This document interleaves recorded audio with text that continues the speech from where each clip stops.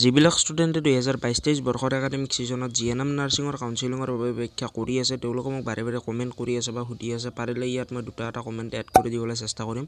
বহুতে সুধি আছে যে মেডিকেল চাৰ্টিফিকেটখন পুনৰ নতুনকৈ বনাব লাগিব নেকি আৰু বহুতে এইটোও জানিব বিচাৰি আছে যে মেডিকেল চাৰ্টিফিকেটখন এইবাৰ কাউন্সেলিঙৰ সময়ত লাগিব নেকি বা প্ৰয়োজন হ'ব নেকি। চ' আজি এইটো ভিডিঅ'ত সেই বিষয়ে ক'ম। লগতে ই ডব্লিউ এছ চাৰ যিবিলাকৰ অৰ্থাৎ ই ডব্লিউ এছ হোল্ডাৰ বা ই ডব্লিউ এছ কেটেগৰীৰ পৰা বিলং কৰে তোমালোকৰ বাবে ইয়াত এটা ইম্পৰ্টেণ্ট লাইন মেনশ্যন কৰিছে।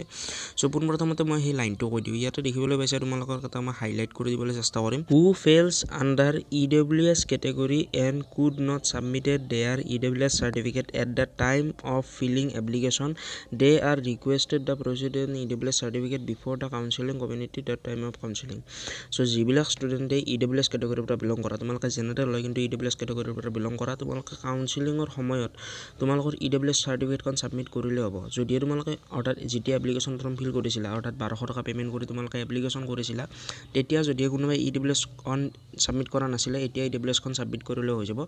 চ' যিবিলাকৰ অৰ্থাৎ ই ডব্লিউ এছখন আছে বা তোমালোকে এলিজিবল হয় তোমালোকে ই ডব্লিউ এছ চাৰ্টিফিকেটৰ থ্ৰুৰে যাব পাৰিবা।